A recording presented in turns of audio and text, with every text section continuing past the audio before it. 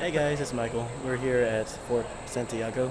We just got done with the um, Rizal Shrine, which has many of Jose Rizal's, which is a Filipino national hero who fought the Spaniards many, many years ago.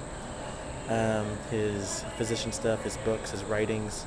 This is his family's furniture. Beyond that door is more of his furniture. But little did you know, he he's also the inventor of hidden air conditioning. So awesome, right? Filipinos do everything. Anyway, hope you all doing well.